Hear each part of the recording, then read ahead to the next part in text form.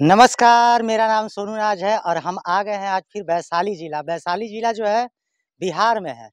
बार बार लोग कमेंट कर कर के ये बात पूछते हैं, पता नहीं है, कई आदमी है हमको तो नाम याद नहीं है कि मेरे पास पैसा नहीं है। सुधीर सर मदद करिए सोनू नाज कोई उपाय बताइए, बिना पैसा के कैसे हम बकरी पालन करें? तो गुस्सा में आके एक दिन हम कमेंट में रिप्लाई दे दिए थे। बोले थे कि ज़मीन है, लेकिन मेरे पास पैसा नहीं है। तो हम उनको बताए थे कि एक कट्ठा घसका दो। लेकिन हो सके मेरे बात को उनको बुरा लगा होगा, लेकिन ऐसा नहीं है। आप जो है बकरी पालन, बटैया लेके भी कर सकते हैं, मुफ़्त में भी कर सकते हैं। अगर आपके करनामे विश्वासी है, लोग आप पे विश्वास करते हैं तो आधा आधी पे भी कर सकते हैं।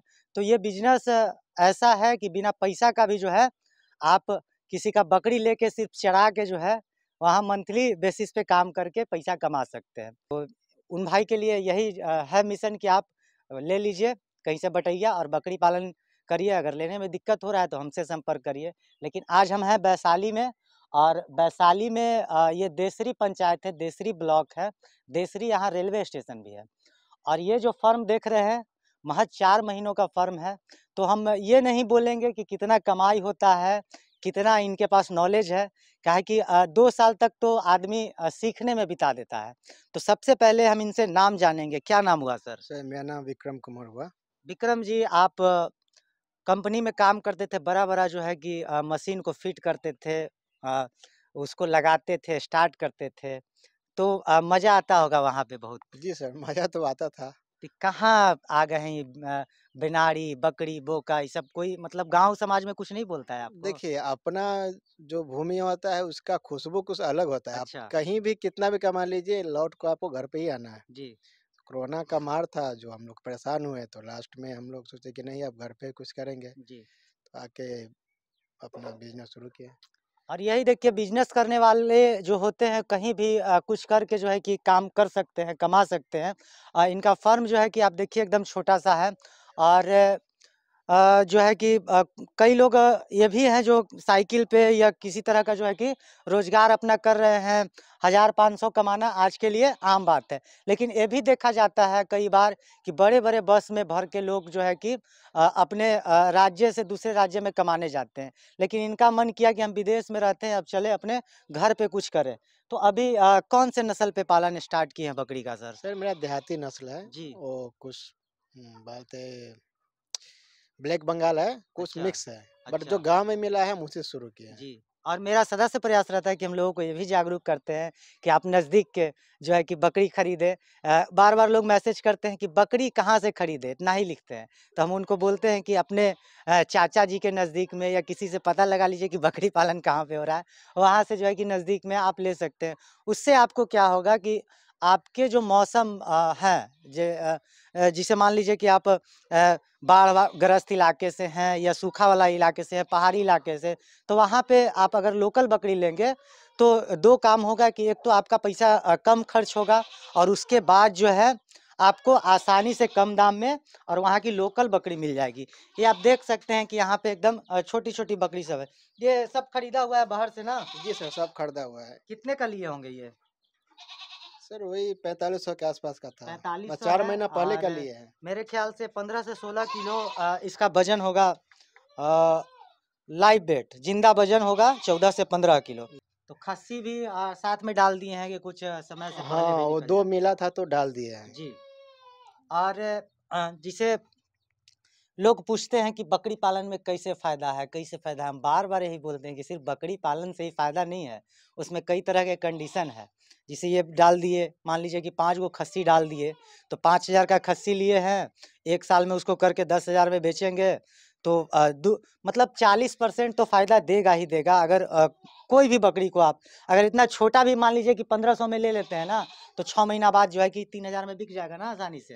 आसानी से सर जी। कोई डाउट नहीं। और आप लोग ओकरे में कमेंट करेंगे कि अ, खर्चा तो बीस रुपया हम खिला देते हैं तो ये छोटी वाली बकरी कितना खाती होगी आपके हिसाब से यहाँ पे? वो तो हमें पता नहीं बट हाँ मतलब डेली का हमको दो के दो के जी चोकर लगता है। जी। उसके बाद जो हरा घास है अपना वही खाता है। हरा घास में भी क्या क्या चला रहे हैं सर? अभी मेरे पास बरसीम है अच्छा। जई है जी। है आ, उसके बाद सरसों है जी।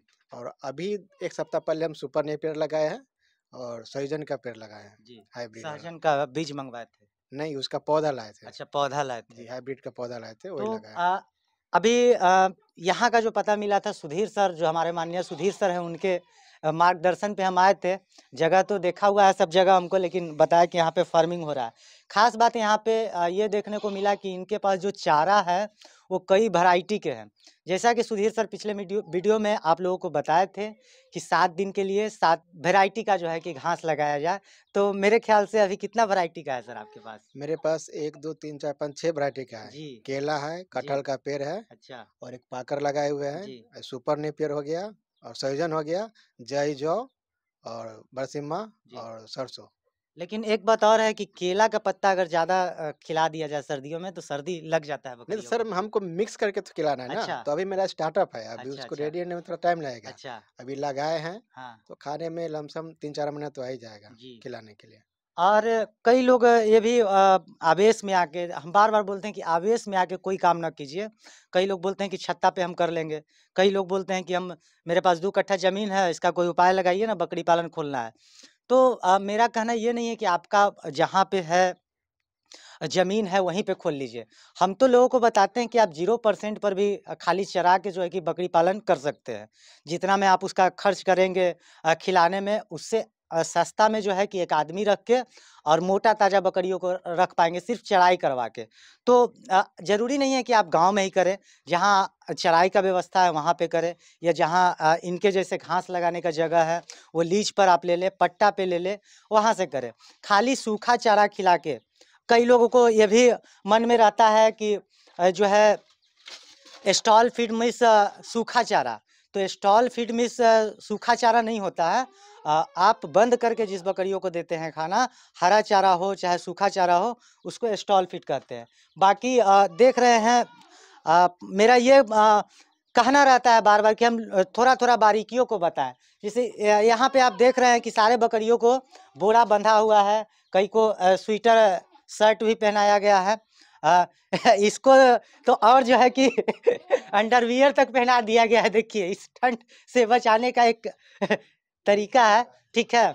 तो अ, उसके बाद आप देख रहे हैं कि बाल्टी में यहाँ पे आग रखा हुआ है लेकिन कभी कभी ये नुकसान बन जाता है।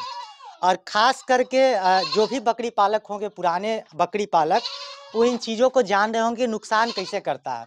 अब जब रात में टेम्परेचर डाउन होता है और ये कंटिन्यू चौबीसों घंटा यहाँ पे जलते रहता है मेंटेनेंस जो है कि बना हुए रहता है तब जो है कि छोटी वाली बकरी जब इसको ठंडा लगेगा तो यहाँ पे ये तापने आएगी और इसमें ऐसे खड़ा हो जाएगी और यहाँ से इसमें आग लगेगा।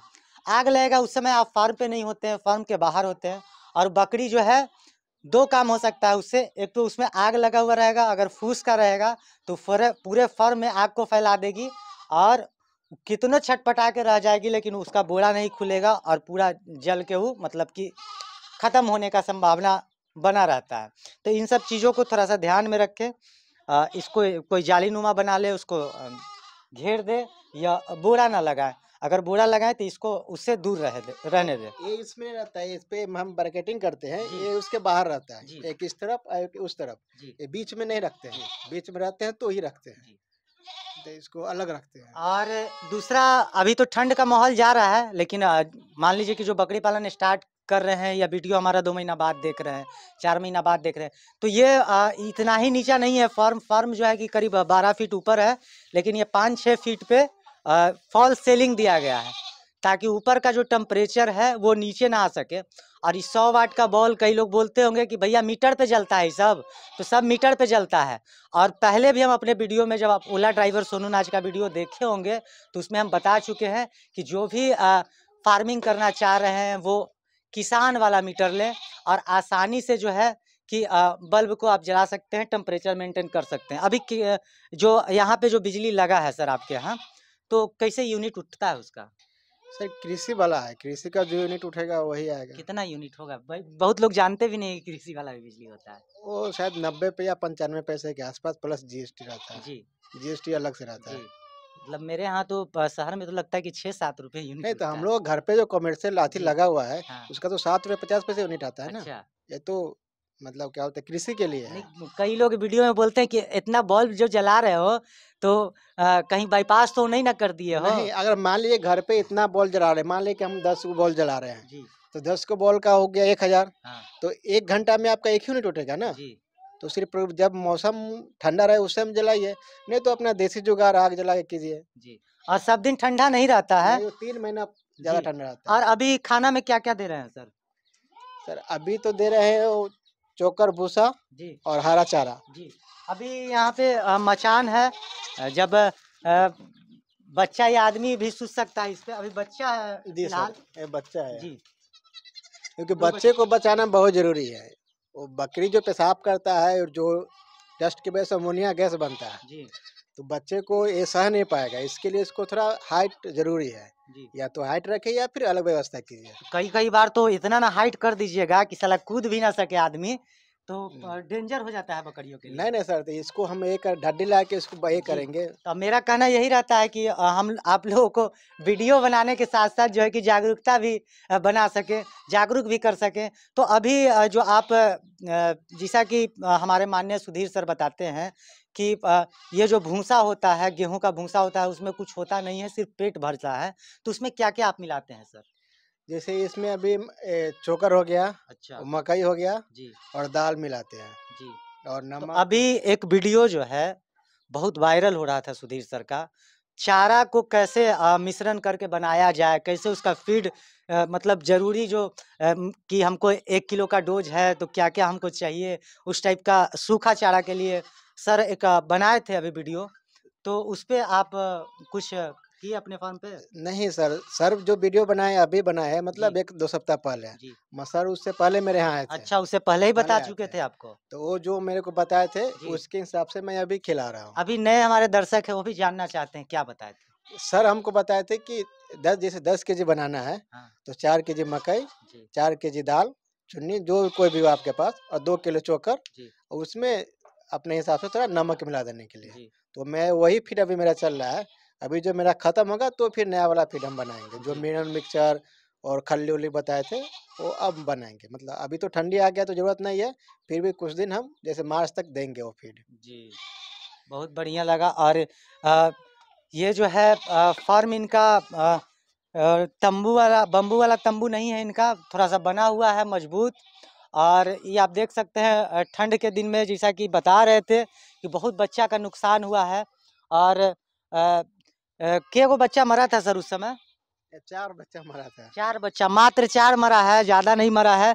सत्रह को था नया शुरुआत है अभी बच्चा आया नहीं था। ये देख सकते हैं यहाँ पे इसको दौरी टोकरी मौना भी बोला जाता है। ये कितना दिन पुराना है सर? ये तो बहुत पुराना हो गया है मगर इसको अभी हम यूज़ में ले रहे हैं बच्चा ढकने के लिए काम और इसमें हम देख रहे हैं कि गोबर का पूरा लेप लगा हुआ है। जी, थोड़ा क्या काम खरा- कर- करता है। काम नहीं मतलब इसका बचा होता है टोकरी का बचा होता है जी तो मतलब जल्दी खराब नहीं होगा। एक तरह का इस पे पेंट मार दिया। है पेंट मार का हो गया कि लास्टिंग करेगा जैसे थोड़ा झरेगा फिर दे देंगे लेप तो थोड़ा टिकाऊ हो जाता है। अभी आ, हमारे आ, कई लोग जो हैं बकरी पालक टोकरी रखते हैं छोटा वाला हमारे यहाँ भी छोटा वाला है। लेकिन ये टाइप का अगर आप खरीदते हैं तो आ, इसमें जो बच्चा रहता है छोटा वो आसानी से खड़ा होके मोमेंट कर सकता है घूम सकता है। हम लोग जो अपने यहाँ छोटे वाले टोकरियों में रखते हैं तो वैसा ही किकुर के बैठा हुआ रहता है और पूरे रात वैसा ही रहता है तो कई बार जो है कि लंगड़ाने लगता है सुबह तक। इस टाइप का टोकरी यहाँ पे कितना मिल जाता होगा? सर इसका तो बहुत रेट है हमको लगता है पाँच सौ के आसपास अभी होगा अप्रोक्स। ये तो मेरा पहले का दो सौ का था मतलब तीन चार साल पहले का। अच्छा। अभी पाँच सौ से कम में नहीं और कहीं कहीं ऑर्डर दे के बनवाना पड़ता जी। शहर में तो बनाने वाले नहीं मिलते हैं देहात से ही जाता है और ये इनका चराई का पूरा एरिया है। और एक जानकारी और देना चाहेंगे कि ये जो चराते हैं आप डायरेक्ट ना। तो उसको चरा के नहीं अगर काट के देंगे तो फिर जो है कि फूजने में आसानी होगा। जी सर ये बात हमको समझ में आया अभी जी। कि मेरा आधा ये लोग ऐसे बर्बाद कर दिया है। जी। अभी प्लानिंग के हम यहाँ से घेरेंगे हाँ। और इसके अंदर रखेंगे और काट के खिलाएँगे जैसे कि मैं आगे से खिलाता हूँ आगे काट के ही दे रहा हूँ। और इससे ज़्यादा डेवलपमेंट होगा हाँ उससे ज़्यादा डेवलपमेंट इसमें क्या होता है ना कि वो जब बकरी चढ़ने जाती है तब बुज़ुर्ग लोग बोलते हैं ना कि जिसको अगर बकरी खा गई तो फिर दोबारा फूजने में बहुत दिक्कत होता है। और जिस पे चढ़ जाती है तो चढ़ता है वहाँ भी नुकसान खाता है वहाँ भी नुकसान फिर फूजने में दिक्कत होता है। अगर आप काट के देंगे तो आसानी से फिर वो फूज पाएगा और आसानी से जो है कि फार्म का डेवलपमेंट होगा कम खर्च में होगा कम समय में होगा। तो जानकारी कैसा लगा कमेंट करके ज़रूर बताइएगा। और किसी भी समस्या के लिए पीपीआर वैक्सीन या कोई भी वैक्सीन संबंधी जानकारी के लिए हमारा जो नंबर है बहत्तर सात अंठानवे अड़सठ सात सौ छियासी पे व्हाट्सएप करें। कोशिश करेंगे कि आपका पूरा संपूर्ण मदद कर सके। मिलते हैं नए जगह पे नए जानकारी के साथ। तब तक के लिए जय हिंद, जय भारत।